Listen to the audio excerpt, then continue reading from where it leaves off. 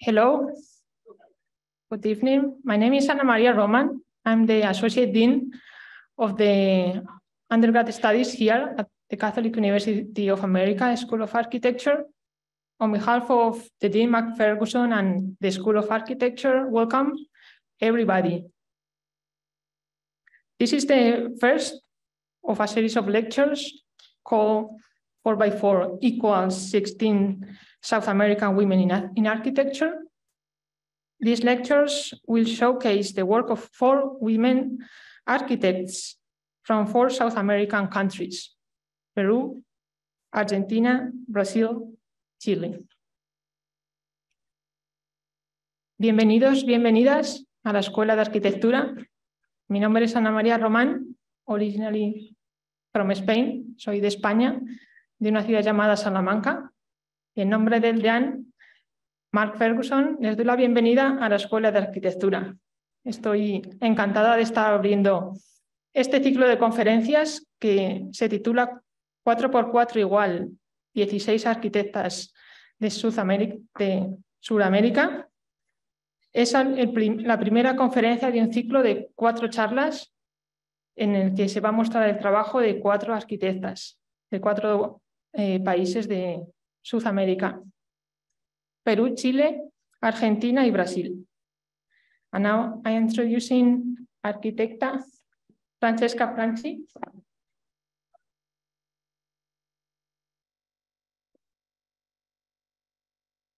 Uh, thank you.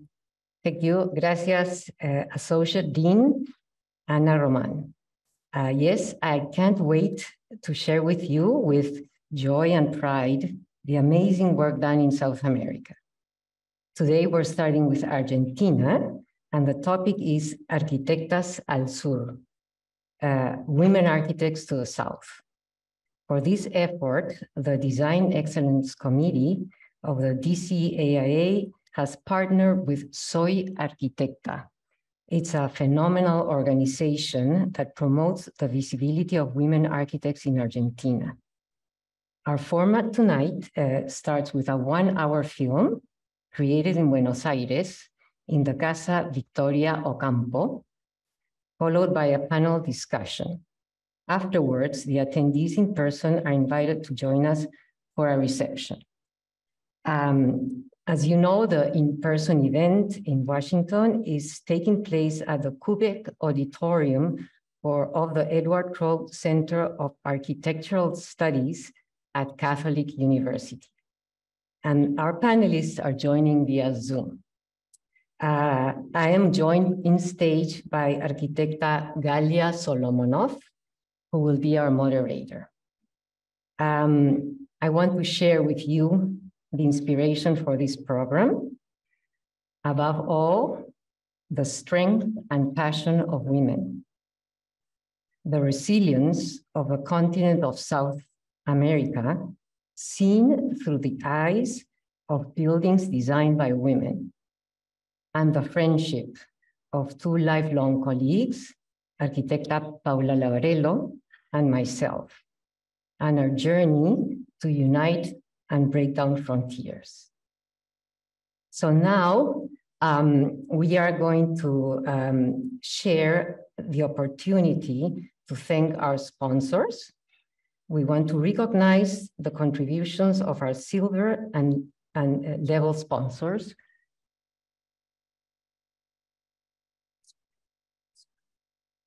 And our bronze levels, level sponsors. um, and we are honored to have in the audience members of the architecture and construction community, educators and students, and representatives of the embassies of Argentina, Spain, Guatemala, and Chile, as well as representatives of the Organization of the American States and Inter-American Development. Um, we are very happy also uh, to share that the new president of the board of the DCAIA, Giselle Santos, um, uh, is here with us today and she is the first South American woman taking this role. Um, so now let's start uh, introducing our moderators and panelists. Arquitecta Barbara Berson. First of all, we want to congratulate Barbara for the arrival only a couple of weeks ago of Gaspar, her first son. We really appreciate you being here. Uh, we find that Arquitecta Berson has a unique perspective on the vernacular environment and sensitivity regarding the use of local materials. Uh, we admire her deep compromise for incorporating and interpreting sustainable design into her buildings, such as the music faculty, the house for the butterflies, and the house in between trees. Besides leading Estudio Berson Arquitectura, Arquitecta Berson also teaches and is involved in various groups exercising the, process, the profession from citizenry. Uh, she sees herself as a woman architect dedicated to developing activities related to the profession and gender. Bienvenida, Bárbara. Um, Monica Bertolino. Uh, when we see her work, we immediately understand her search for the essential. Her deep, caring approach to architecture is seen as wise and encompassing. We find fascinating her intentional approach to how she looks at architecture. This makes her buildings both resonate and at the same time disappear in the landscapes. Uh, these themes can be admired in the design of buildings such as the educational farm. You will see it's an incredible building. Um, Arquitecta Bertolino and Carlos Barrado are partners at Bertolino Barrado Architecture. Besides her practice, she's a researcher and a professor. I believe architecture is a complex phenomenon an integrity in which different spheres of thought converge. Art, craft, the conceptual, the philosophical, the everyday, said Bertolino in one of her latest interviews. Bienvenida, Mónica. Arquitecta Paula Lavarello. Um, her work can be summarized as global and cosmopolitan. Since her 20s, Arquitecta Lavarello had to travel to Europe every year to visit her father in exile. And therefore, her exposure since her youth to diverse parts of the world. This influenced very greatly her projects. The use of bright, vibrant colors like reds and lima greens, which are her preferred colors, are always present in her very urban buildings such as the Hotel Vitrum and the Tango Dancers Hostel. Arquitecta Lavarello is a co-founder of SAS Lavarello Arquitectos in Buenos Aires. She is member of Soy Arquitecta and has taught at several stages in her profession. She believes that architecture helps humans to live better, that good design has to be accessible to all, and that the function of buildings is to improve human relations. Bienvenida, Paula. Um, arquitecta Inés Moiset. Dedication is the best word to describe her endless driven research work. We admire her deep understanding of history and knowledge of the evolution of the design work of women through time. She is a founder and coordinator of the site Un Día Una Arquitecta, which since 2015 has been dedicated to making visible the work of women in the profession. Arquitecta Moiset is the author of books, articles, blogs, and a regular editor of Wikipedia, where she participates in the group Mujeres Latinoamericanas. Latin American women. She aims through her research, work, and activism with a feminist perspective to promote equity in the profession. Bienvenida, Inés. And lastly, uh, Arquitecta Galia Solomonov. As mentioned, uh, she will be our moderator. Uh, gracias um, for coming and being with us here today. Uh, Arquitecta Solomonov left her home town of Rosario in Argentina and embarked in a journey that led her to become associate professor of professional practice in architecture at Columbia University. She's also the founder and principal of Solomonov Architect, uh, Architecture Studio, where she has been dedicated to integrating contemporary art with architecture and has worked with over 50 internationally recognized artists, designing site-specific multimedia and temporary installations, such as a conversion of the 1929 Nabisco factory into Tia Beacon. Arquitecta Solomonov aims to make art accessible to all publics. Bienvenida Galia, and now Galia will follow up this conversation. Thank you, Francesca. Uh, thank you, uh, uh, Universidad Católica, uh, Catholic University of America. Uh, it's a pleasure for me to be here. Uh, the first thing that we wanted to share with you is this graph illustrating the um, the way the four participants today from Argentina straddle different areas of uh, knowledge uh, that all belong and all make the architect, uh, designers, educators, researchers, and activists. Um, and this is something that we're going to see in their work today. So let's transport ourselves to Buenos Aires to the house of the world famous writer Victoria Campo, where our panelists met to discuss their work. Victoria Campo built this house with the collaboration of the architect Alejandro Bustillo in the 1920s. It was one of the first modern buildings in Argentina and was celebrated by Le Corbusier when Le Corbusier visited Buenos Aires in 1929. It is located in the French-style Barrio Parque, it stands out for its avant-garde language, pure volumes, and restraint from ornamentation. In the 1930s, this house witnessed one of the most notable events in Argentina literary history, the creation of the magazine, magazine Sur, which was founded by Victorio Campo at the request of José Ortega y Gasset and Eduardo Malea, among others, to disseminate the work of foreign authors in Argentina and to introduce young Argentine writers to each other and the world beyond.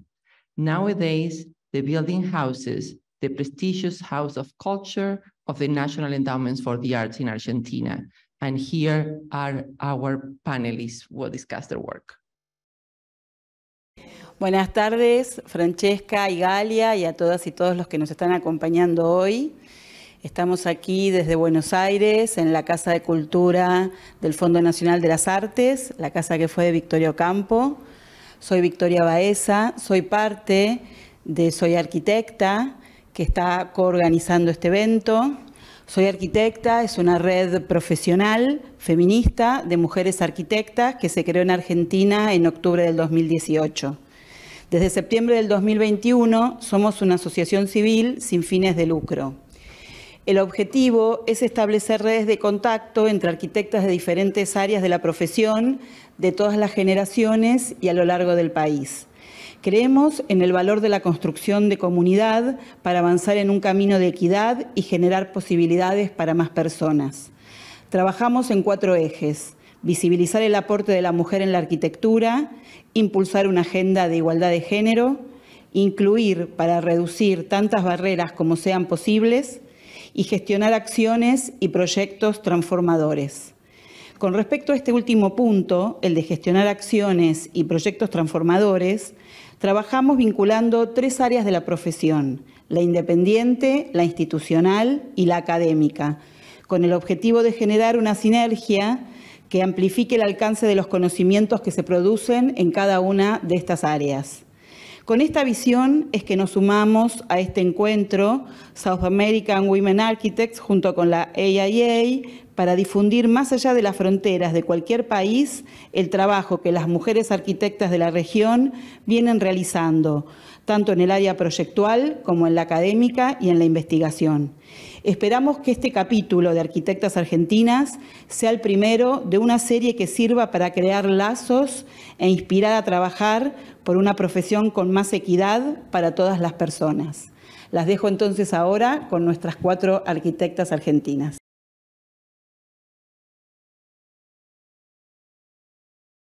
Bueno, muchas gracias por invitarme a participar de este evento.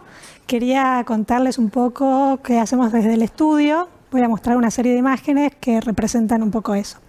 El estudio se llama Verson y voy a empezar por los inicios. Los inicios se tratan sobre cómo comencé mi vida profesional.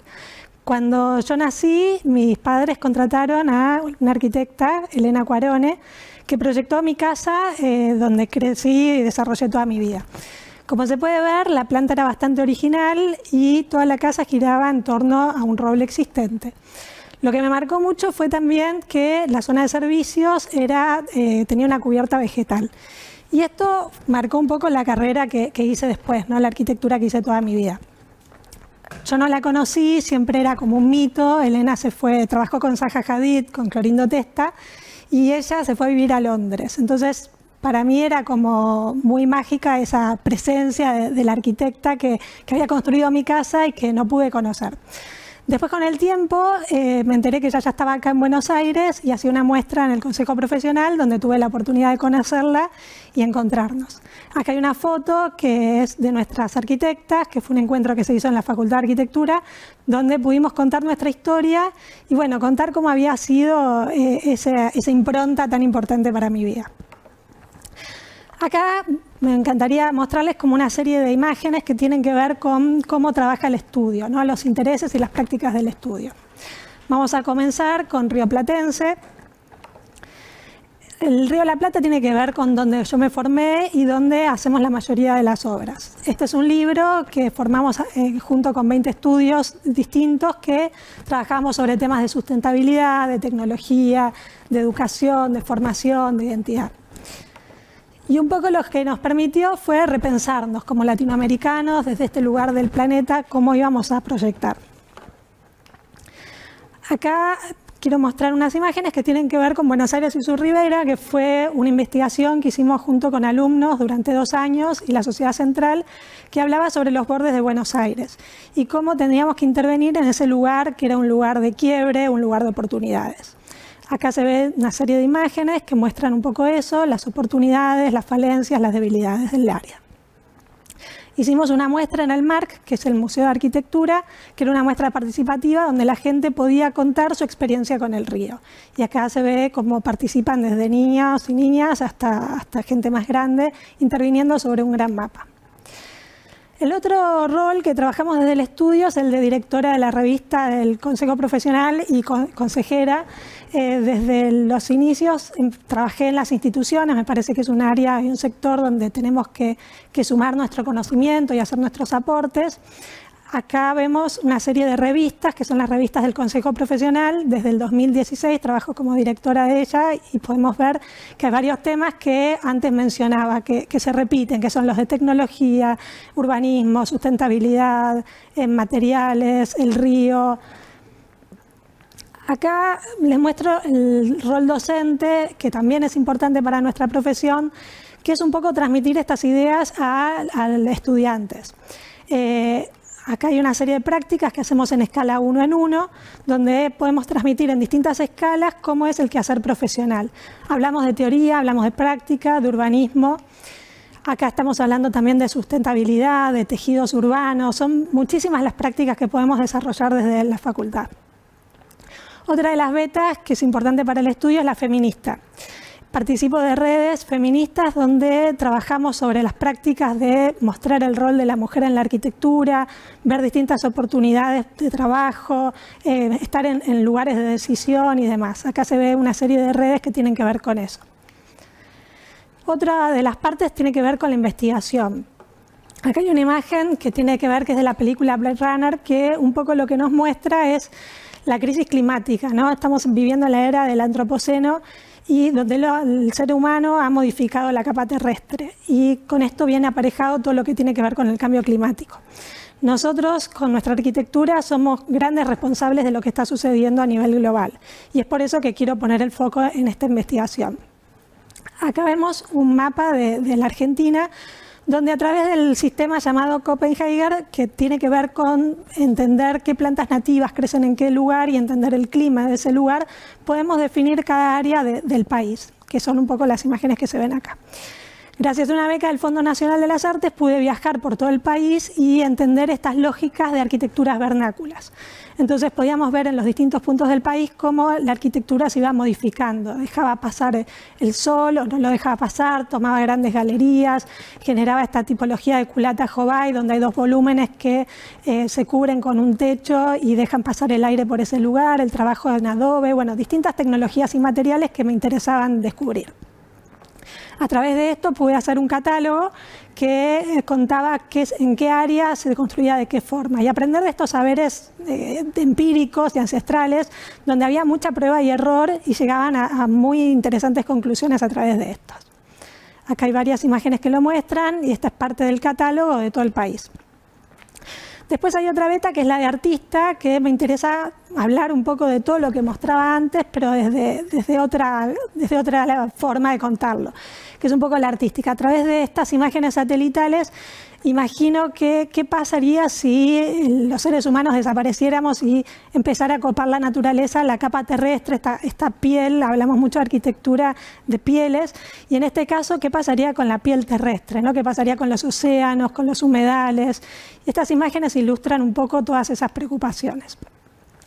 Y por último, hablar del rol como arquitecta.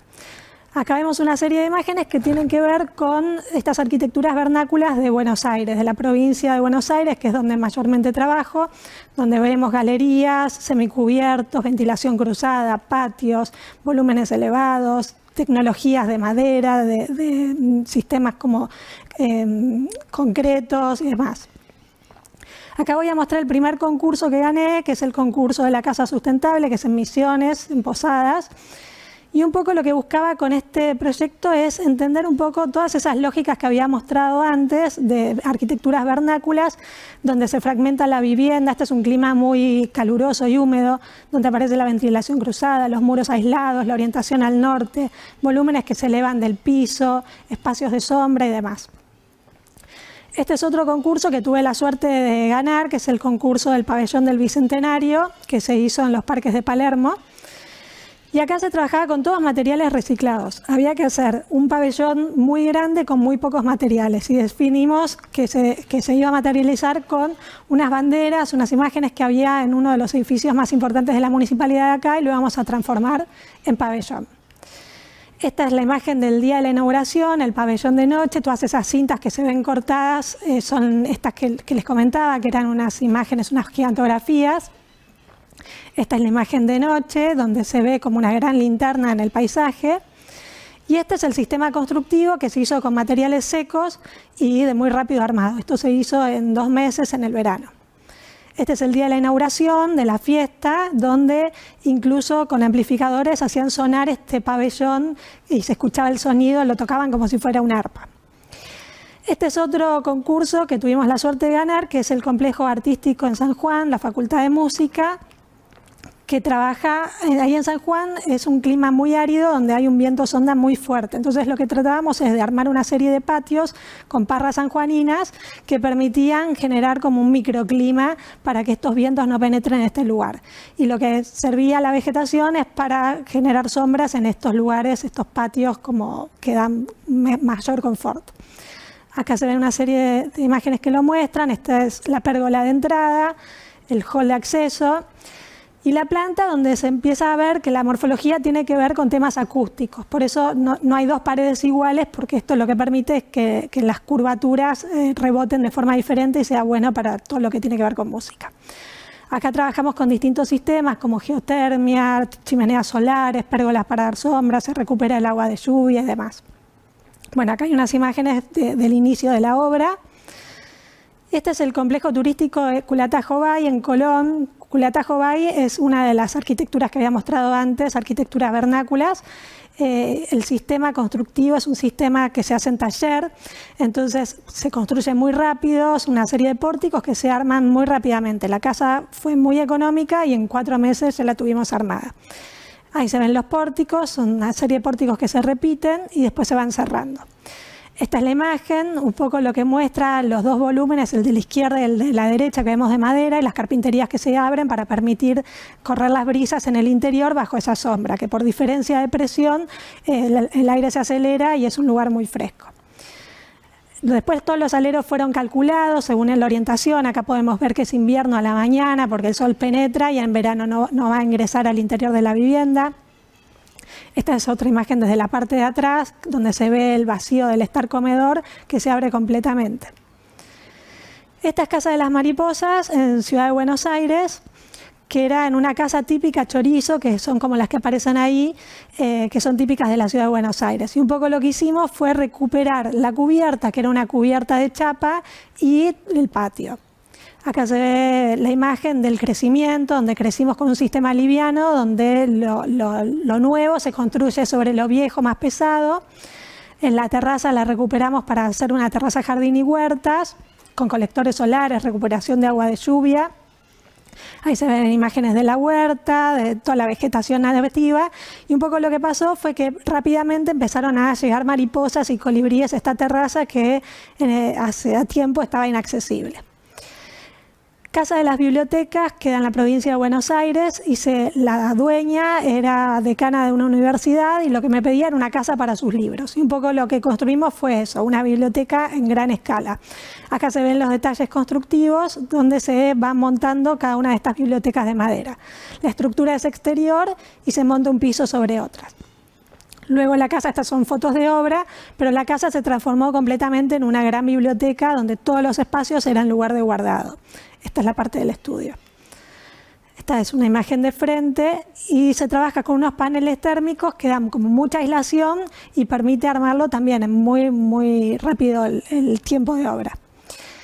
Este edificio es Pradera Vertical, que está en la zona de Núñez, ya es un edificio de mayor escala y lo que trabajamos fue una serie de parasoles que permitían el paso o no ingreso de sol en distintos momentos del año. Y lo que genera en una ciudad muy gris, de mucho hormigón, es todo este paraíso verde donde también vienen colibríes, mariposas y demás. Acá vemos el interior de la manzana, terrazas verdes, huertas, acá vemos cómo va creciendo la vegetación, esta es una foto ni bien terminada la obra, pero la vegetación ya había aparecido y los colibríes ya nos venían a visitar, estas imágenes del acceso, y un poco nos hace como un mejor habitar, eso es lo que busca la arquitectura, tanto en la ciudad como en la periferia. Esta es casa para ver el cielo, el cliente se dedicaba a trabajar eh, como tenía que ver con mucho lo que es el pensamiento y asesorar distintas empresas y me pedí un lugar para meditación, que es el lugar que vemos ahí arriba. Y la casa tiene toda ventilación cruzada y ventilación como chimenea solar que usa toda la parte de arriba del estudio. Ahí se ve otra imagen donde se ve toda la, toda la losa de abajo con sus patios y su cubierta accesible con su mirador. Está también en proceso de obra. Casa Libélula es en el delta, esta es la ubicación. Ahí vemos un poco de la vegetación que también nos hace pensar en cómo deberíamos construir, cómo deberíamos apoyarnos sobre el terreno, cómo son las raíces de, estos, eh, de esta vegetación, los materiales con los que construimos y el proceso constructivo que es muy, una zona muy inaccesible trabajando con materiales que encontramos en el lugar. Por ejemplo, ahí estamos arriostrando con ramas propias del sitio. También entender que el agua crece, que todo el tiempo el paisaje va cambiando. Ahí podemos ver cómo, el agua había inundado como toda lo que es la estructura. Caminos con pasarelas, ahí se va armando la casa, todo en estructura liviana y con piezas muy fáciles de armar. Las ventanas en este caso se corren completamente y arman como todo un espacio de sombras para lo que es verano. Esa es la imagen del acceso con el estar comedor y los dormitorios. Ahí vemos cómo las ventanas se corren.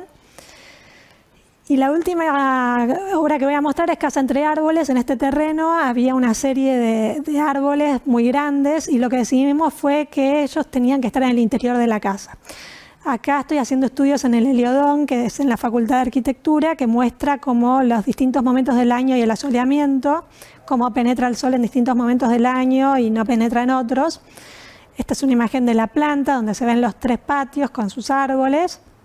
Una planta muy abierta, muy, clara, con una grilla eh, que permite que el espacio fluya. Acá podemos ver, por ejemplo, los árboles como eh, la estructura permite que las raíces continúen por debajo y, la estructura sube. Este es el proceso de obra con todo lo que son las columnas, como lo orgánico y lo inorgánico.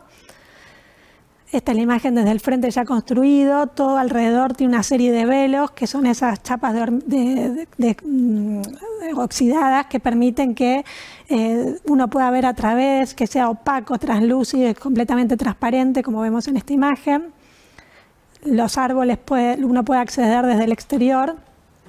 Esa es una imagen interior de los patios. Esta es una vivida por, ya la gente que lo habita. Acá se ven los patios en el interior, situaciones de la cocina, del óxido de la chapa, de, subir por esta escalera hacia lo que es la terraza verde. Ese es el estudio de pintura que da todo lo que es la terraza jardín de arriba, que es esta que vemos acá.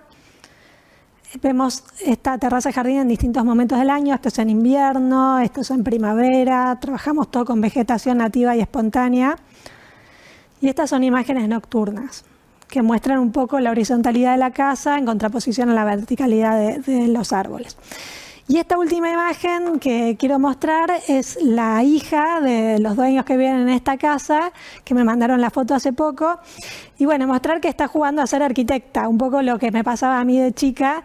Y, bueno, qué responsabilidad tenemos cuando hacemos nuestra arquitectura, ¿no? Y cómo influimos sobre la gente, qué, influencia tenemos y cómo condicionamos su vida. Me parecía que era una linda imagen para terminar y bueno, muchísimas gracias.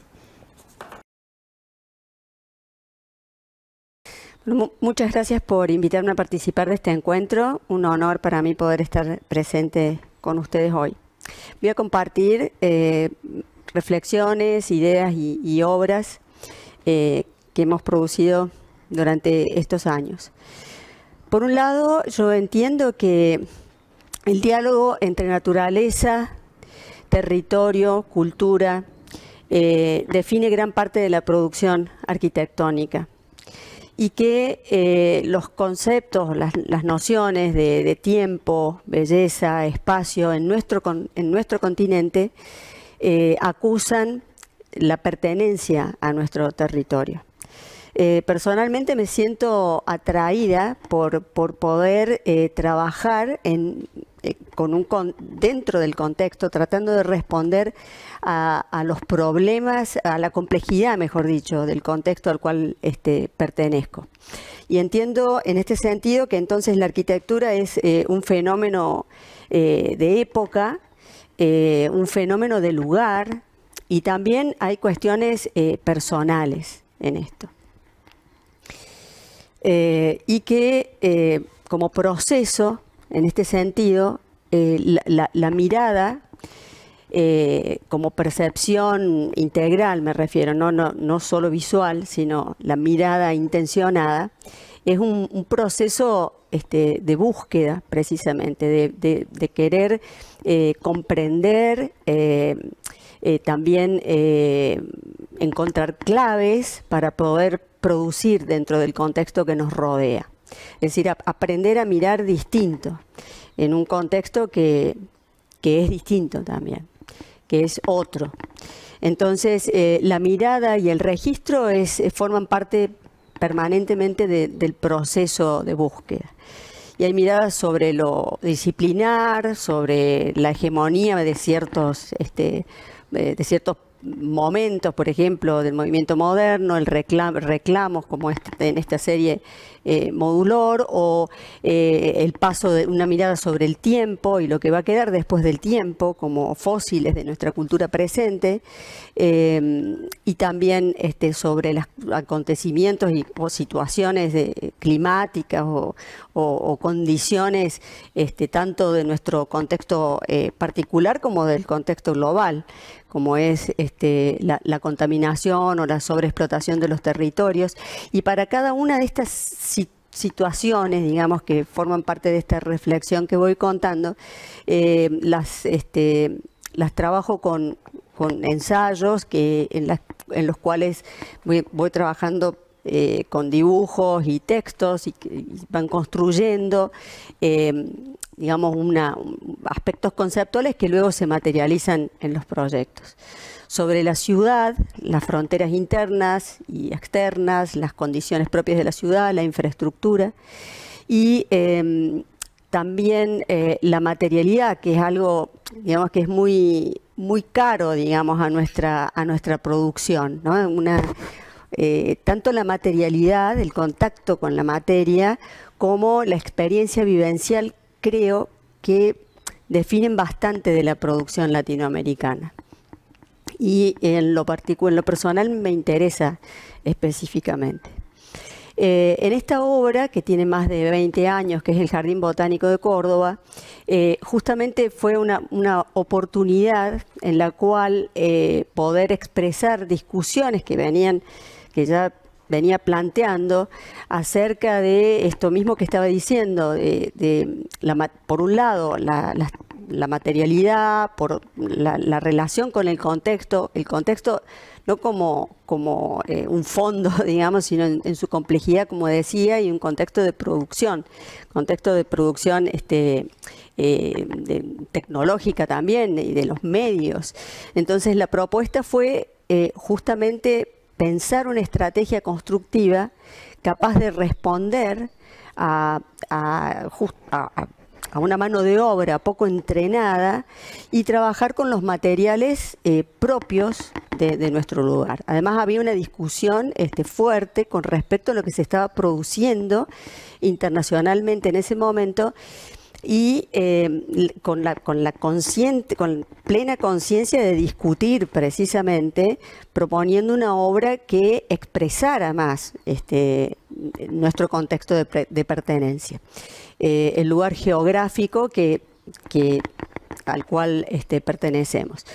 Eh, y entonces asumir el error como parte digamos, eh, sí, como una imperfección, digamos, como, esta, como, un, como un sesgo de esta belleza otra. Y este, dar fuerza al carácter estructural. Eh, otra búsqueda significativa en cuanto a la matérico fue trabajar con el hierro, el hierro doblado de obra.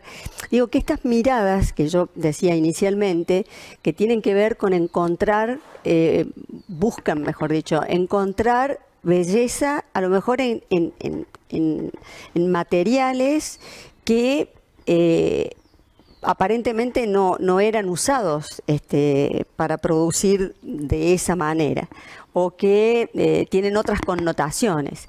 Entonces el hierro de obra para nosotros fue como un trabajo que primero fueron objetos y hasta, hasta que luego se fueron transformando en, en estructuras y, em, y, plegados que dan texturas. Eh, y, trabajándolo de distintas maneras. Por otra parte, profundizar en el espacio público, que es lo que vengo pasando, que, en el cual trabajamos durante nueve años para la Municipalidad de Córdoba y eh, seguimos trabajando con espacio público eh, tratando de eh, mantener siempre la flora nativa y brindar espacios de interconexión a nivel urbano. En la vivienda individual o colectiva siempre también la, búsqueda ha tenido que ver, por un lado, con lo tipológico, ofreciendo, digamos, una, variedad este, tipológica. En el caso de la vivienda colectiva, buscar detener expansiones. Y en el caso de las viviendas individuales, que no me voy a detener mucho en esto, eh, son búsquedas que tienen que ver, por un lado, con, con lo espacial eh, y por otra parte, con las distintas materias que componen el paisaje en donde se sitúan. Eh, esto es una, experiencia larga, digamos, de cómo utilizar los distintos materiales que son específicamente del lugar. Incluso muchas veces hemos usado este, restos de, materiales de obra que están utilizados en los muros. Eh, en todo el trabajo en, las sierras de Córdoba, eh, eh, pudimos o pude poner en práctica estas reflexiones como los fósiles, por ejemplo, en, muros, o este, retomar las típicas construcciones este, del lugar, eh, tratar de atenuar, digamos, la presencia de la arquitectura, eh, digamos, del edificio dentro del, lugar. y tratar de entender que la naturaleza, la naturaleza, digamos, como materia también. En el caso específico de la granja, que es lo que estoy mostrando, que es una granja educativa en Capilla del Monte, eh, que forma parte de este conjunto de obras que vengo mostrando, eh, la idea justamente fue trabajar con, eh, con la naturaleza, con tratar de responder no desde el cliché de la granja, sino desde digamos, una, una estructura, nuevamente la estructura es este, algo eh, que está presente, por supuesto, siempre, pero con una intencionalidad de querer mostrarla y de que la estructura sea lo esencial.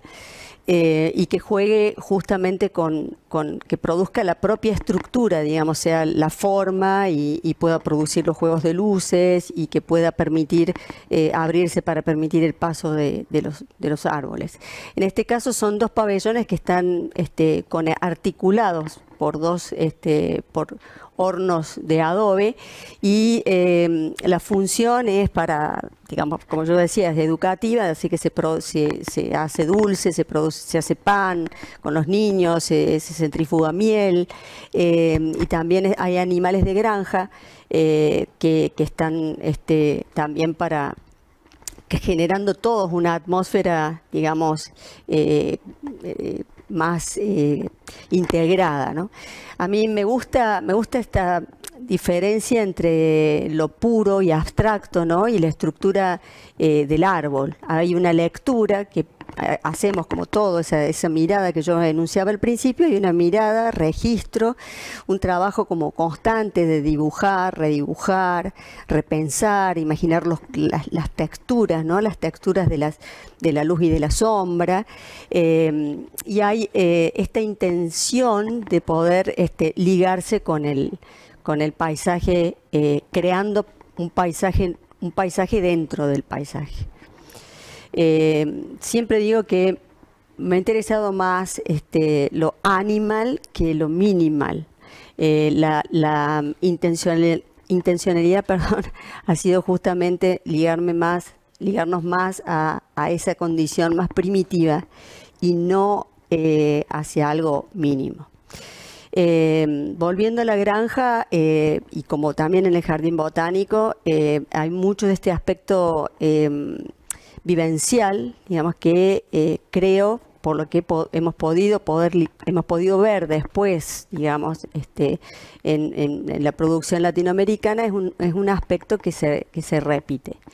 Eh, entonces creo que tal vez eh, la, la, complejidad digamos de la arquitectura resida en la, en la comprensión profunda de los distintos paisajes, sean este, urbanos, eh, humanos, culturales, eh, y que eh, nosotros como arquitectas, arquitectos, debemos de hacer los soportes para esos, para esos paisajes. Y en esta particular condición que vivimos, hemos vivido, digamos, desde la pandemia, creo que tenemos una gran, este, un gran compromiso de asumir una nueva complejidad y este, promover la construcción de un mundo mejor, pero no un mundo nuevo, sino de rehabilitar un mundo que ya existe, pero con eh, nuevos valores. Eh, bueno, muchas gracias, eso es todo. Bueno, antes de empezar a contarles los proyectos, quería contarles que siento una inmensa alegría de estar aquí hoy y haber podido llevar adelante este proyecto de 4x4 16 arquitectas latinoamericanas que comenzamos a imaginar con mi gran amiga Francesca Franchi hace solo unos meses y hoy se está haciendo realidad. Eh, los proyectos que les voy a mostrar son producto del trabajo de un gran equipo de arquitectas y arquitectos que dirijo junto a mi socio Javier Sass. Nuestro eh, lugar de acción es la ciudad de Buenos Aires. Buenos Aires es una metrópoli multicultural y cosmopolita que enfrenta situaciones críticas de manera intermitente. Cuenta con un tejido urbano inmenso de forma rectangular, conformado por cuadras uniformes con terrenos de 8,66 de ancho. El primer proyecto que les voy a mostrar es en el barrio de Palermo, es el Hotel Vitrum. Le tenemos mucho cariño porque fue uno de nuestros primeros proyectos, ya tiene casi 15 años. Fue un concurso por invitación que ganamos con esta imagen, que era una cuadrícula de vidrios de 30 eh, por 60, construidos como las antiguas carpinterías de las casas chorizos, con perfil L y T y la grilla ocupaba los dos lotes contiguos. Y eh, de noche esta fachada transiluminada se convertía, en ese momento Palermo no era lo que es ahora un barrio tan eh, concurrido, en una, eh, como una especie de farol de colores dentro del barrio. En este proyecto también diseñamos los interiores del edificio, hicimos una convocatoria a todos los artesanos, artistas gráficos, artistas industriales y diseñamos todas las habitaciones a partir de los objetos que nos nos venían, eh, nos, empezaban a mandar. Cada una de las habitaciones tenía una particularidad, ninguna era eh, igual a la otra. En este caso diseñamos hasta incluso los papeles eh, de, las, de las paredes y las alfombras, todo fue diseñado especialmente para, para el hotel. Después de un tiempo, a los pocos años, a los cinco años, nos llaman los clientes para contarnos que habían comprado el terreno de al lado y la gran duda fue qué hacer con esa fachada que ya habíamos hecho.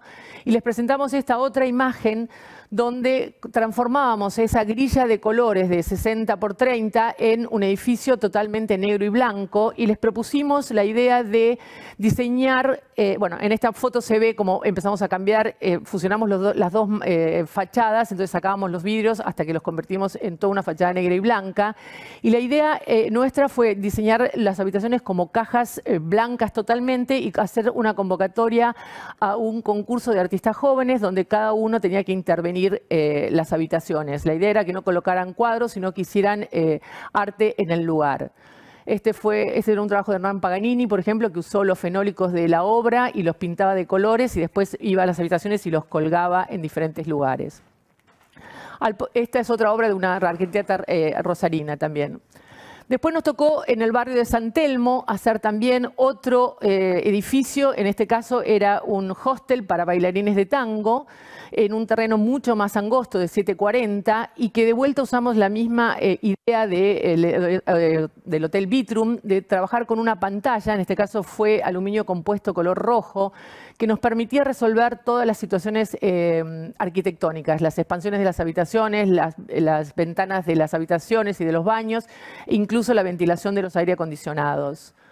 Ese es un detalle de la fachada. El otro condicionante de este proyecto era que el edificio tenía que tener bajo mantenimiento y la realidad es que el aluminio compuesto funciona perfecto.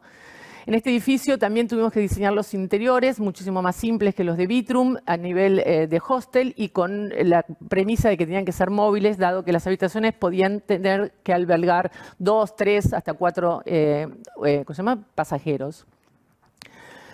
El otro proyecto que les quiero mostrar, volviendo a la zona de Palermo y entrando en otro rubro, que fue eh, las oficinas AAA con certificación LEED Gold, que fue nuestra primera experiencia en certificar eh, edificios eh, con la certificación LEED. Fueron este particularidad de tener que trabajar en, la cuadrícula de la ciudad en tres terrenos eh, contiguos pero diferentes, digamos, al mismo tiempo. Era la primera vez que nos pasaba tener que resolver una situación como esta de hacer tres edificios al mismo tiempo eh, eh, juntos. Este edificio lo hicimos con el estudio Fox and Fall y acá tuve la oportunidad de trabajar con Francesca Franchi, que también estaba a cargo del proyecto junto conmigo. Y la gran discusión fue qué hacíamos, si hacíamos que los edificios sean iguales, sean parecidos o sean diferentes y decidimos diseñar esta pieza de 320 por 320 eh, y eh, ponerle como una pestaña de alucobón, de em, aluminio compuesto de colores, y ese módulo se iba a repetir y cada uno de los edificios iba a tomarlo diferente de acuerdo a cómo estaba posicionado dentro de la trama urbana. Este fue el Boutique Work 1, que miraba al, este, al amanecer, con lo cual decidimos que la pestaña esta que hacía de sombra tuviera el color este cobrizo para dejar que se em, filtrara el agua, el, agua la luz de la mañana adentro de las oficinas. El segundo, el de la esquina, que tenía la particularidad de tener que resolver la ochava. Los edificios en, en Buenos Aires tienen que tener ochava a nivel del primer piso. Y entonces decidimos continuar la ochava como un triángulo en punta en todo el edificio y eh, eso nos, nos, eh, proporcionaba diferentes módulos, con lo cual decidimos que este edificio no tuviera color y fuera solo gris eh, metálico. El tercero, que miraba al sur, eh, que tenía un pequeño desliz en la trama, a diferencia del, primero, era eh, con un color eh, celeste metálico para dejar pasar más luz adentro de las oficinas. Después de este, acá es una muestra de la habilidad del hormigón en la Argentina. Eh, esta es la primera secuencia de las fachadas que nosotros llamamos en el estudio las fachadas 3D, que por un pequeño desfasaje en la planta, eso eran solo 30 centímetros que se movían las fachadas, podíamos hacer todos estos movimientos que vieron en las fotos anteriores. Esto requería una precisión muy grande en el hormigón, pero también ahorraba muchísimo costo en la construcción de las fachadas de vidrio. Y una cosa que resulta, que lo que pasa en arquitectura, eh, que no sabíamos que iba a ser así, pero resultó que las pestañas estas, o las, pajaritos, como lo llamábamos, a medida que uno pasaba alrededor de los edificios, iban cambiando de posición de acuerdo como cuando uno caminaba, hasta casi desaparecer o hacerse totalmente protagónicos, como en la, en la se llama? foto de la derecha. Después de ahí, y también en el mismo barrio, nos toca hacer un edificio, el edificio de Summers, en un doble lote. De vuelta son dos lotes de 866 que, como ven en, el dibujo violeta, eh, eh, tenían dos características constructivas totalmente diferentes. Uno era planta baja y 5 y el otro es uno de planta baja y 7, dado que el nuevo código de la Ciudad de Buenos Aires lo que trata de hacer es de eliminar las medianeras.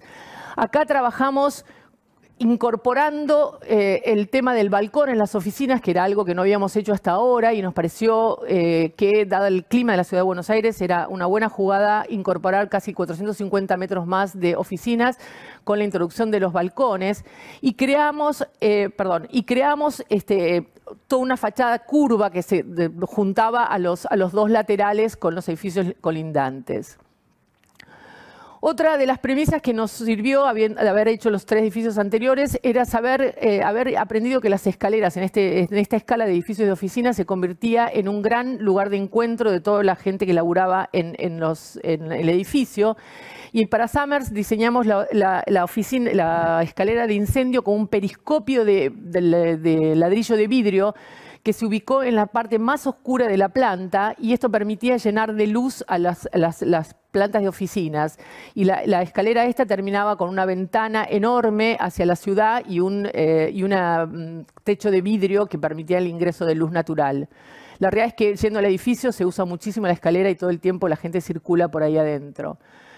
La fachada, que nos llevó muchísimo tiempo desarrollarla, eh, fue eh, construida con una secuencia de lamas de 320 de altura, de 30 centímetros de, eh, ancho, que fueron diseñadas con un programa especial de computadora donde se utilizaron cinco blayones de gráficos de puntitos que se colocaron, es el dibujo ese que está abierto de colores, es toda la fachada extendida, que se colocaron en cada sector del edificio de acuerdo a cómo recibía la luz en cada momento. Esto nos permitió incorporar a los balcones como lugar de trabajo para eh, las oficinas estas. Esta es una foto del edificio terminado, ahí se ven las curvas donde van tomando los bordes y eh, se pegan a los edificios existentes. Este es un detalle de la terraza jardín. Estos edificios, como dije anteriormente, tienen certificación LEED Gold, así que habíamos hecho en el quinto piso del edificio esta terraza comunitaria con una cocina comunitaria que era eh, para uso de todos los eh, eh, habitantes del edificio. Este es un dispositivo especial que se diseñó para poder subir las lamas al edificio. Bueno, y el último proyecto que les quiero mostrar es un proyecto que nos está llevando ahora eh, mucho tiempo de hacer, que es el proyecto de Alley, en otra zona de la ciudad de Buenos Aires, en el barrio de Recoleta, una parte muy, mucho más densa de los barrios anteriores que les estaba mostrando. Y este proyecto tiene la particularidad de tener, eh, de salir a dos cuadras. Por un lado, la calle de Bustamante y el otro lado, Billinghurst. Como bien ahí en la en la axonométrica, Bustamante tiene una escala mucho más barrial, es una calle más eh, peatonal, mientras que Billinghurst tiene, eh, muchísimo tráfico, incluso hasta de em, colectivos y todo lo demás.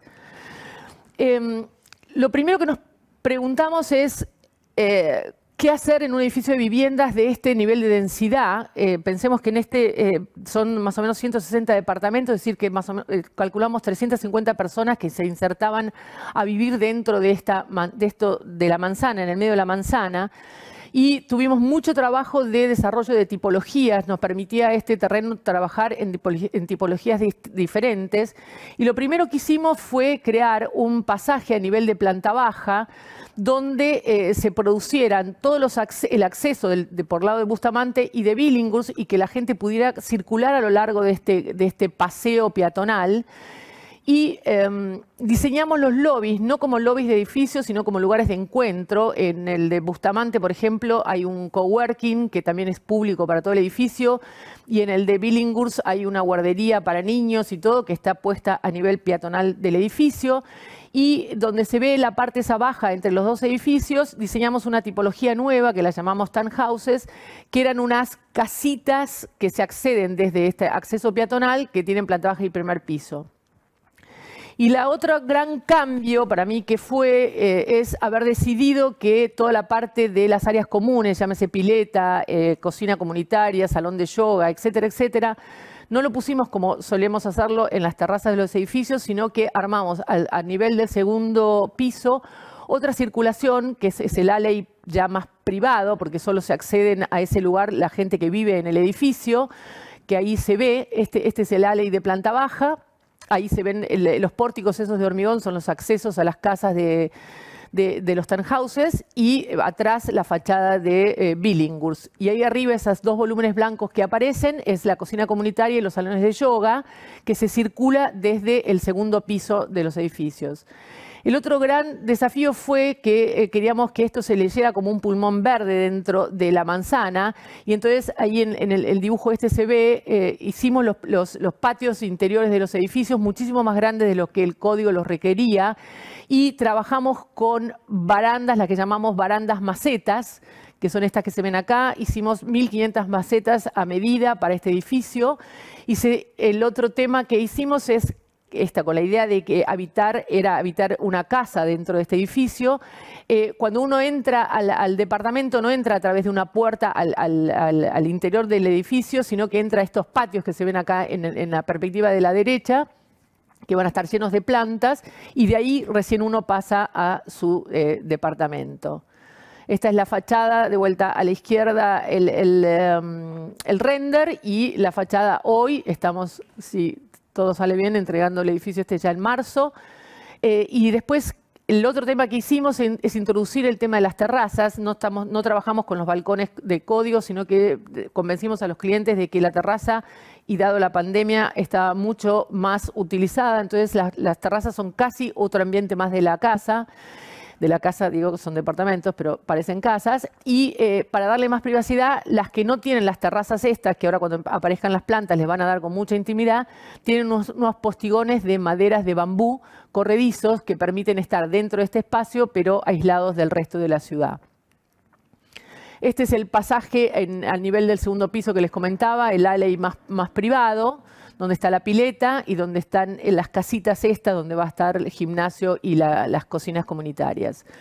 Este proyecto eh, va a entregarse ahora a, fines de marzo. Y para terminar, quería contarles esto nada más, que fue eh, algo que surgió en medio de la pandemia y que esto lo hago con mi, mi, coequiper de la docencia, que es el arquitecto Raúl Banda, que convocamos a los alumnos de, la Universidad de Itela, donde estábamos dando clases en ese momento, a hacer concursos con nosotros. Este, la, la, facultad todavía no empezaba.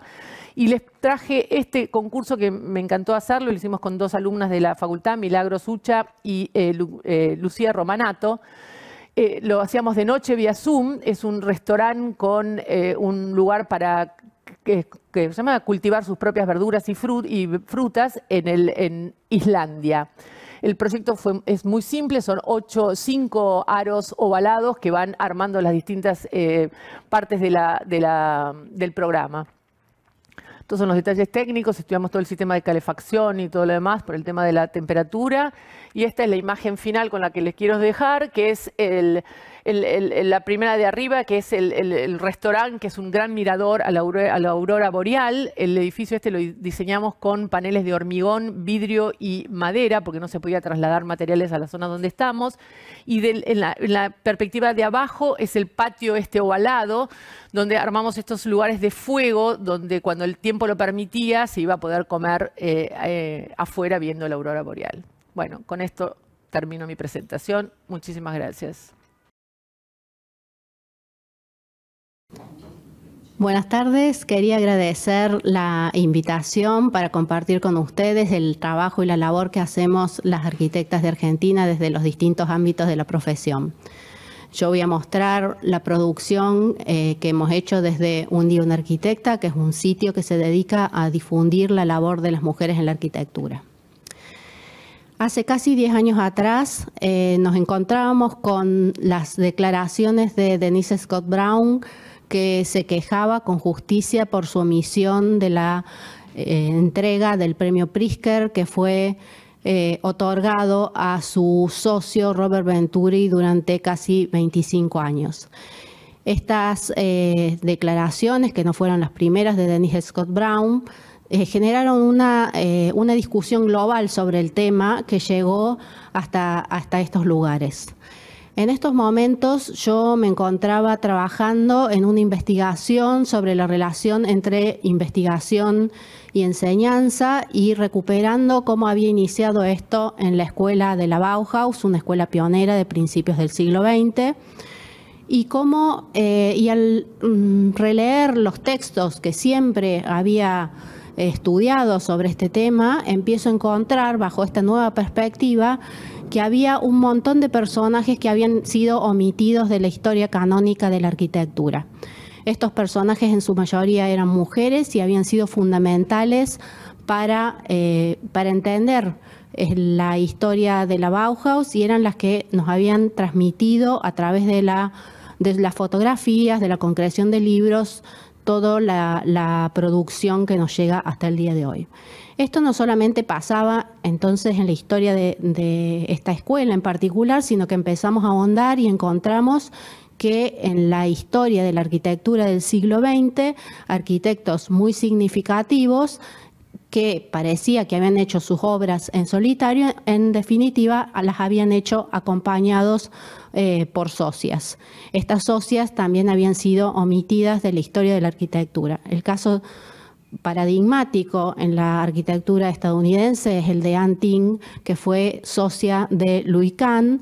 Ella era tenía una mente matemática privilegiada. Buckminster Fuller decía que era la estratega geométrica de Louis Kahn.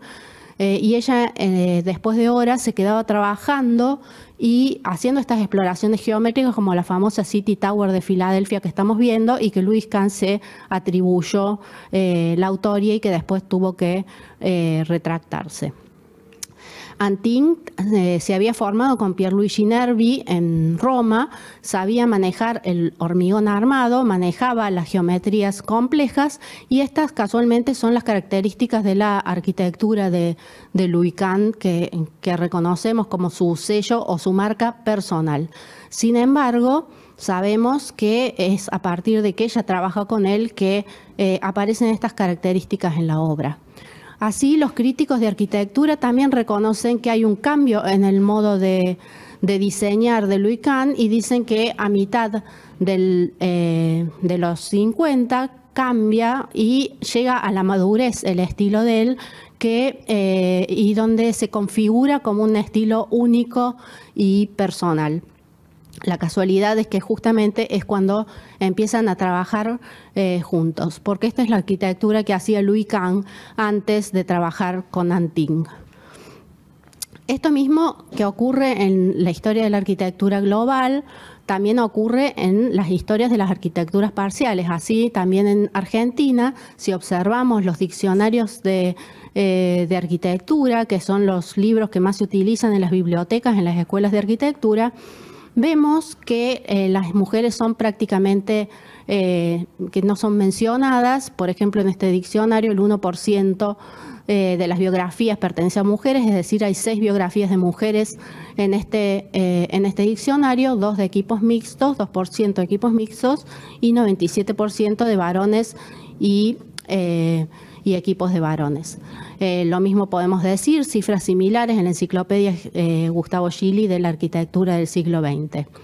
Estas cifras, uno puede decir, bueno, no hay mujeres arquitectas, pero en realidad sí las hay, con lo cual se constituye una especie de escándalo que en estos libros que recopilan la, eh, bueno, la producción de la arquitectura del siglo XX omitan eh, una gran cantidad de personas que contribuyeron significativamente.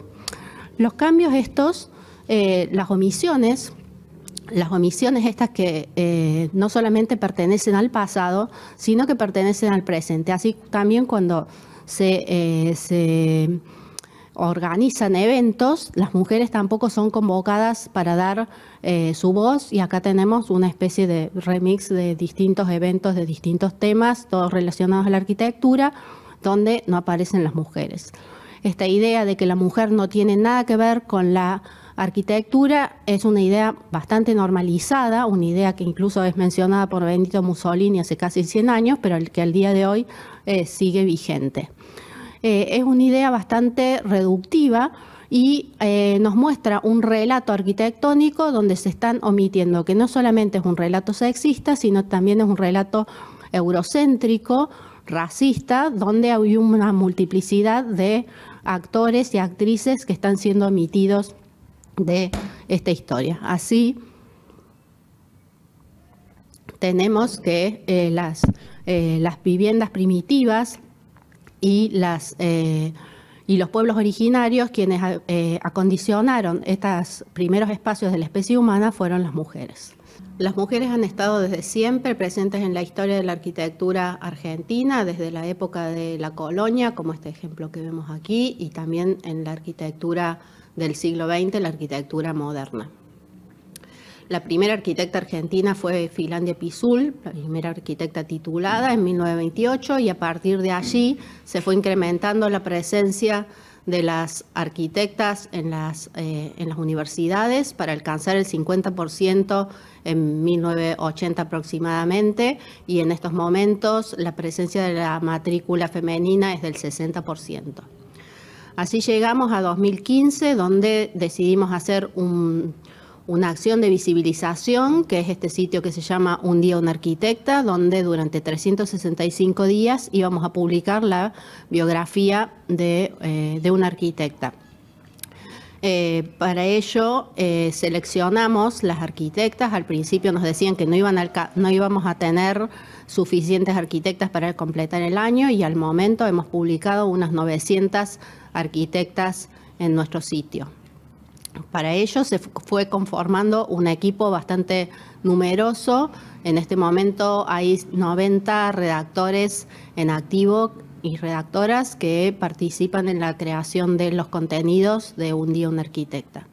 Esto es un poco los sitios desde donde se, ve la página web. tiene más de 3 millones de seguidores eh, y también organizamos algunos eventos, como este que fue el primer evento, el primer encuentro de mujeres en la arquitectura, donde estamos con Cayetana Mercedes, Aida Muxi y Florencia Marciani, y donde convocamos a 16 arquitectas de todo el país, eh, y que fue un encuentro eh, que dio pie después a otras acciones que se llevaron a cabo más adelante. También hemos realizado varias publicaciones, no solamente de tipo académico, sino que algunas de carácter de difusión, como este mazo de barajas que fue premiado por varias bienales de arquitectura.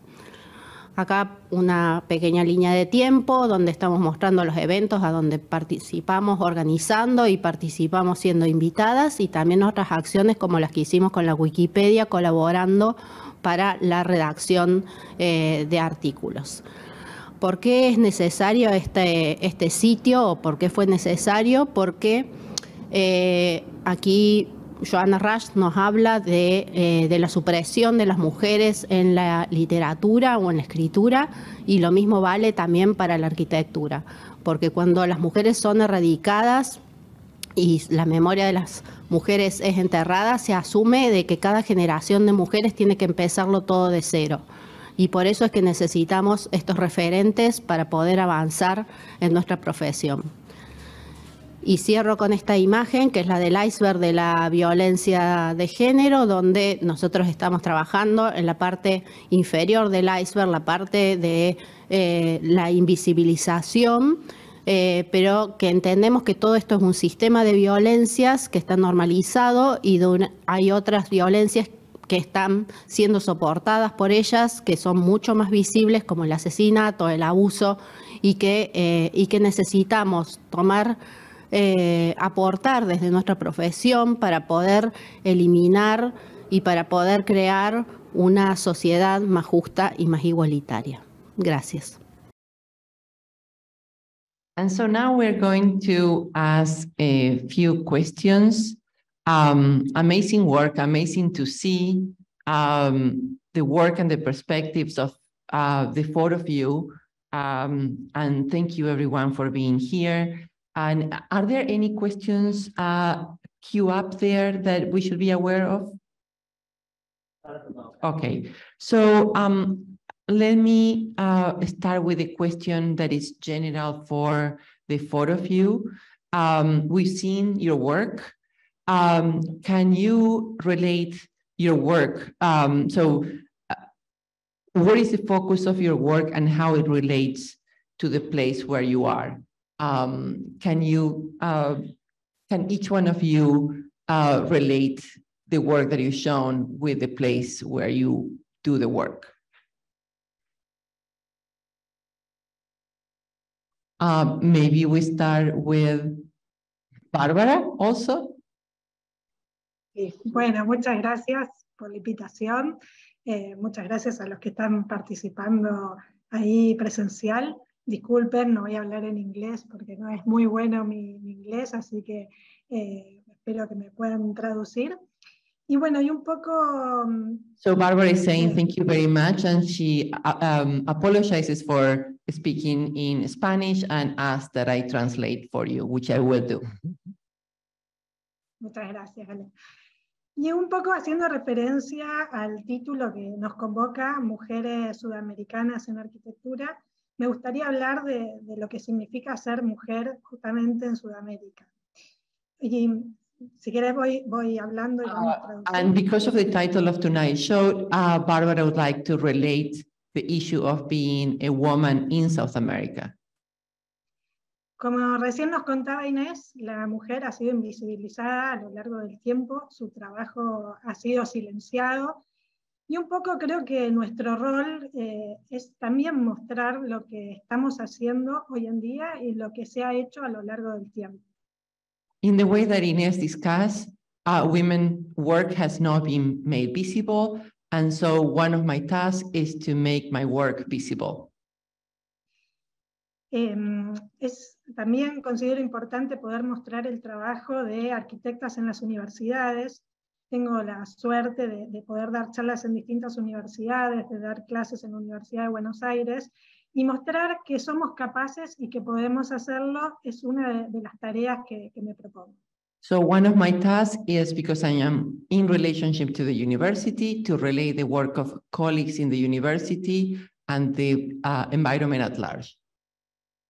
Lo mismo sucede en las obras. Eh, al comienzo era muy difícil, cuando empecé a trabajar en obras, era muy difícil que los trabajadores puedan recibir eh, instrucciones de una mujer.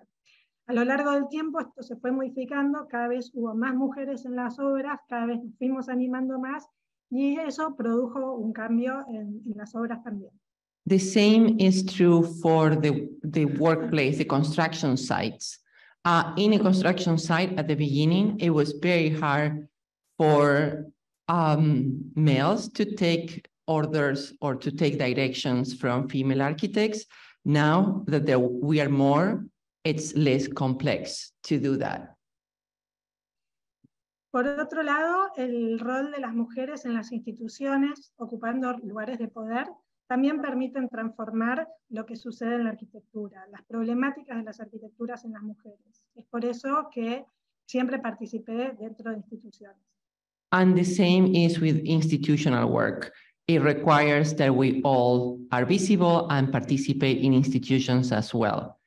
Um, now I understand why you do so many things. You, you, you try to connect all these um, different layers and activities. And maybe now is a good time to maybe switch to Paula.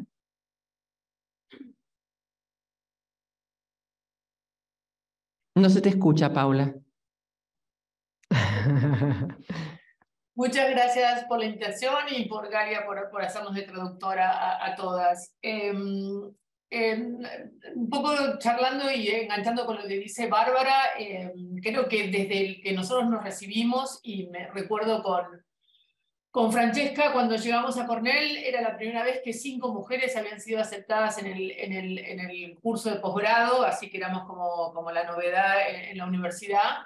Creo que desde ese momento hasta ahora ha cambiado muchísimo y creo que igual queda mucho por hacer. If you want to start translating. Uh, so pa Paula is saying that when uh, um, when Francesca and Paula arrived in Cornell, you were only five women accepted at the post uh, postgraduate level at Cornell, and she marvels at how much it has changed now. So, I mean, the situation, if you, si quieres, sigo en inglés, como vos prefieras. Sí, dale. Okay, so I think everything has changed very, very quickly, um, but there is a lot, lot to do. Uh, yeah, um, so that's why um, at this stage of my profession, I started uh, with working in Soy Arquitecta, which is a red of women architects that uh, what we do, we are 11 people, 11 women architects that are trying to uh, visibilize, uh, trying to eh, empoderar, que no sé cómo se dirá en inglés, eh, eh, a las, a las, to the young architects. As Ines mentioned, now in the university, we are over 80% of women architects. So that's a lot of um, women uh, studying architect. But if you go to the studios or the, to the main points of, uh, in, of power, there are not 80% of women taking care of those positions. So I think that uh, we have to fight and we have to um, try to get to those uh, to those uh, positions of decisions. We have to be right. Uh, digamos, included that. I remember one of the first time um, I had to deal with a client uh, and talk about um, honorarios. Um, uh, about yes, about the compensation. Compensation. He told me that he could not disguise um, money with a woman. that he was not able to discuss money for with a woman. Say, okay, no problem. So just sign the contract and we can start Uh, so Paula, uh, let me take advantage of this moment and ask you, since you have straddled uh, both, you know, the United States and Argentina, Buenos Aires, uh, how do you see any significant difference uh, being a woman or in the work environment of one city or one one country and the other, or the, the, the two parts that you have um, well, I, I, did not work in in the states. I, I, I, studied there, and I worked very a couple of months with Vignoli, but as a passante, no, not. Uh, so I don't know how it's to work there. I know by talking with Francesca because we, we talk a lot a, a lot and discuss the position of women in Argentina and in Buenos Aires. I think uh, Latin America is a very machista area. I think in the States uh, they are están como más controlados, no sé cómo decirlo, ¿no? But uh, I come from a family. Eh? They're more uh, uh, civilized, uh, con control. Civilized or, or, or, they have more laws, no? Control. Um, I come from a family where uh, all my family are architects. My my great aunt was one of the first women that get the degree of architecture in Argentina. So I mean, I don't know. I, I mean, I've been an architect since born. So for me, it was easy to get into the the profession because I, I knew the profession from very little. Um, pero I, I don't know. Yes, uh, it makes perfect sense. Thank you. and I'm going to segue into Ines. Um, so uh, Ines, yesterday I saw the movie um, uh, Argentina 1985. And one of the things that I thought is that activism um, sometimes, you know, uh, sometimes you need young activists. Sometimes you need, uh, it's certain things cannot happen. The movie is about Argentina in the 1980s and the, um, the um, trials to the military dictators and how uh, they couldn't find um, older uh, um, uh, legal experts to take on the cases of the judgments of the dictators. And so they went into the super young, you know, 20 year old group of uh, uh, legislators and, and, and lawyers. And so my question to you, Ines, is that as you see the younger generations, and after all the amazing work that you've done with uh, Un Arquitecta, um, how hopeful or how worried are you about what is ahead for all of us? And you can discuss. Sí. Yeah. Eh, ¿Necesitas que te lo traduzca o entendiste? No, no, no, no hace falta, perfecto. Eh, a ver, yo creo que sí hay como una predisposición de la gente joven, de las nuevas generaciones, eh, en tener perspectivas y, y, e intenciones de cambiar el mundo. Eh, no sé si quieres ir. Uh, so, uh, so Ines is saying that there is a predisposition of younger people to uh, attempt uh, to change the world. Cuando nosotras empezamos con, eh, digamos, con esta mirada feminista sobre la arquitectura, eh, efectivamente las, eh, las arquitectas más jóvenes, las estudiantes fueron como mucho más rápidamente receptivas a, lo que estábamos planteando. So, the, so when uh, Inés started Un Día Una Arquitecta, the younger uh, architects were much more receptive to take on the challenge of publishing architects' work. Y las arquitectas mayores, eh, mayores que yo incluso, eh, se resistían porque eh, las pocas que habían logrado romper techos de cristal eh, preferían creer que, eh, que todo estaba bien. Oh, and that it Eh, was their own talent, right? Uh, que, So- habían, que su propio esfuerzo, por su propio esfuerzo, habían llegado eh, So the, the older ones, she encountered that the older ones sometimes resisted the idea of uh, Un Día Una Arquitecta and publishing others and felt like their recognition was due to their out of the ordinary talent. Sin embargo, cuando terminamos una exposición o de explicar esta situación y al final se acercaban y empezaron a contar historias terribles. But Eh, whenever we had a panel and we discussed these things, uh, older uh, architects would approach us at, at the end and tell us uh, heart-wrenching stories. Thank you. eh, por ejemplo, historias, sí, sí, por ejemplo, historias eh, de que la madre le rompía las maquetas cuando hacía la facultad porque si no, no se iba a casar, si, si tenía So uh, arquitecta. stories so awful that, for example, uh, the mother of an architect would break the the model the, the models of the daughter because the mother thought that if she was an architect, she would not get married. relaciones violentas con las parejas que- y que estaban totalmente eh, normalizadas. and, and, and violent, uh, violent relationships and, and considering that that was the way things were.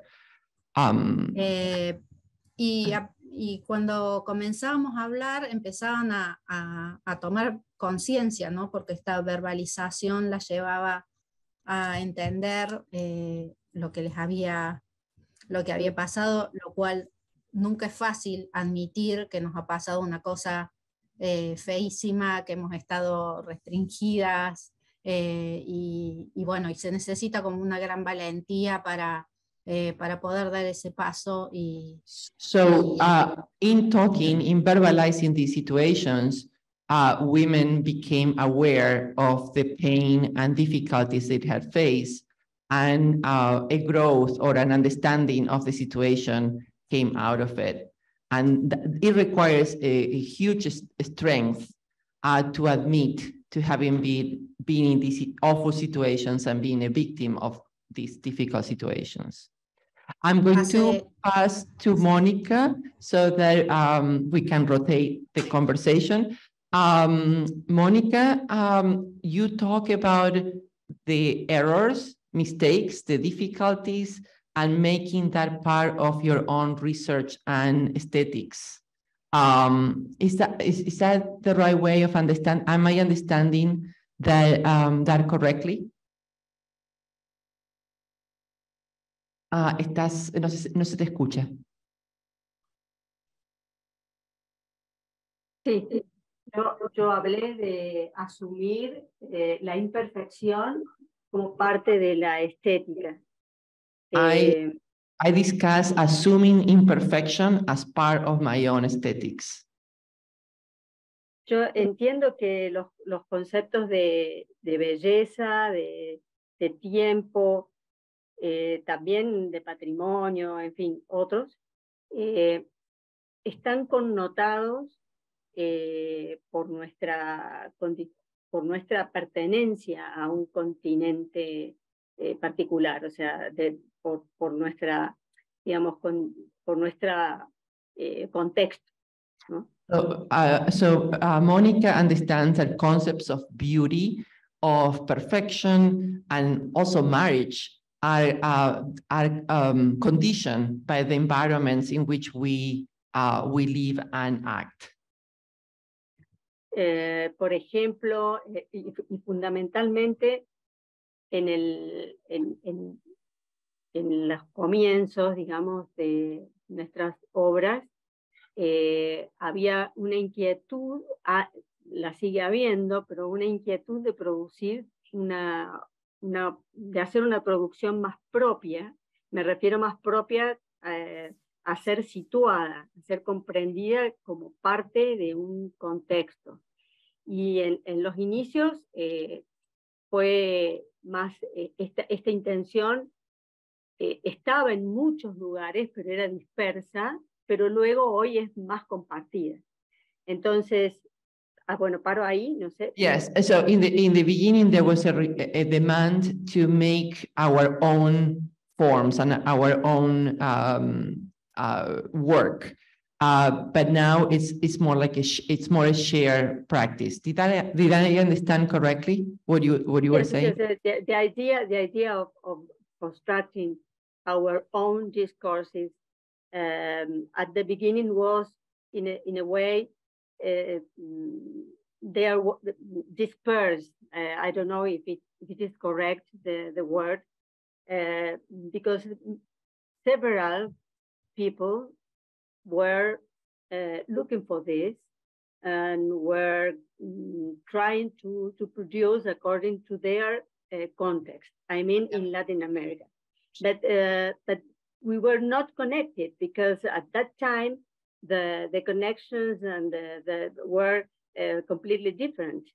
And but than now, I mean, uh, that we are all connected. Yes. Thank you. So um, I'm going to ask if there are any There's questions. Uh, we have to, we have to leave. We- we For the sake of Mm. time, uh, We have one more, yeah. we want to have everyone get a brief response to this question. Do we? Um, so there is one question to read that. Maya? Oh, okay. Uh, so, um, I'm going to get to the point of the question itself. Uh, so, uh, do any of our presenters find influences in today's architects in addition to Zaha Hadid mentioned, uh, that inspire their work? The, Em, por ahí, mm, en mi caso, hay referencias a una arquitecta que se llama Lina Bobardi, eh, que también es brasilera. So in my case, the, the reference, the strong reference is to Lina Bobardi, the Brazilian architect. Que trabaja con gran creatividad, logrando mucho con muy pocos recursos, ¿no? Es casi como, como el arte pobre, como una gran arquitectura con recursos limitados, eh, pero pensando en la espacialidad, en lo social y en lo cultural. Me And the way que- I'm inspired by uh, Lina Bobardi works is because it's very powerful, yet it's not uh, resource intensive. Um, donde como es, lo social, lo cultural y la, la naturaleza es parte de, de su inspiración. Creo que, que para mí ella es una gran influencia. She's a great influence because she integrated the social and the cultural into her work. ¿Puedo? Sí, Eh, sí, Mónica. Sí, sí. Para mí, este, de- debo decir que también, además, este, también me, me intrigaba, porque cuando estudiaba el posgrado con Marina Weissman, eh, el conocimiento de- del trabajo de Lina Bobardi eh, fue, muy, fue muy directo. En el año 86, 87, estaba terminando la obra de eh, el, el Sesqui Pompeya. Y, yo estaba realmente alucinada por una obra magnífica, por la, por la presencia de, de- del hormigón con esas texturas marcaban la colada del hormigón eh, y por lo So- social. So for me too, uh, Monica says, I, I was studying and working with Marina Weissman, a historian uh, in Cordoba, Argentina, um, and the, the work of Lina Bobardi at the same time that she was finishing Seis Pompeii, and to see the, the uh, Breton, uh, the, the um, uh, concrete done in that way uh, was very moving and uh, I felt hallucinated by, by that, the power of that work. I think that, um, do we have time for one of them to respond or should we close? Should we close? So, um, I would, oh, there's somebody in the audience. Yes, Um, buenas tardes, yo me llamo Sofía Casi Blanco, soy una latina estudiando arqui- arquitectura y solo quiero decirles muchísimas gracias por hacer esto. Yo definitivamente me he dado cuenta en mis clases, sí, son mayoría, mayoría somos mujeres, pero de todos modos muy poquitas somos latinas. Y, y tener estos ejemplos porque mm, no hablan sobre arquitectas en, la escuela, solo he escuchado a Lina Bobardi que es, es muy hermosa, pero, pero quiero saber más, más, ¿cierto? Más latinas. Um, y Lina Bobardi nació en Italia, entonces, es, ah, pues es, practicó en Brasil. Um, solo quiero decirles muchísimas gracias por hacer esto y, y Inés, muchas gracias por mostrar tu, tu research porque de verdad muestra los números y los difíciles que son. Muchísimas gracias. I, I want to thank everyone very much. Uh, it's been an amazing night for me and uh, thank you, uh, Universidad Católica. Thank, thank you, Francesca. Um, And I want to just very, very quickly, because um, we had a lot of questions and great questions. Um, I want to um, again thank um, the School of Architecture, the, the DCAIA Design Excellence Committee. Uh, I'm a, a group that I'm from uh, for supporting the series. Uh, of course, Catholic University and the Dean Mark Ferguson and adjunct professor Douglas Palladino for hosting the event. Um, special thanks to the uh, design uh, co-chair of the Design Excellence Committee, William Hendri- Hendricks, James Jesmer, and Maggie Dunlap for uh, cooperation. And uh, to Soy Arquitecta uh, for joining us in this vision, uh, for Victoria Baeza and Eduardo Watson for creating the film. And of course, above all, uh, again, all our sponsors. And Arquitecta Paula Laurelo, this all started having a wonderful glass of Malbec and looking at the undulating uh, hills of Ithaca. Thank you so much. Our next event will be Peru on June 6, where we will showcase the work of arquitectas Sandra Barkley, Patricia Llosa, Elizabeth Añaños, and Belén Desmeson. And our moderator will be Arquitecta Mariela Buendia Corrochano. This time, we will explore different projects with landscapes of the South Pacific coast and of the Peruvian Amazon jungle.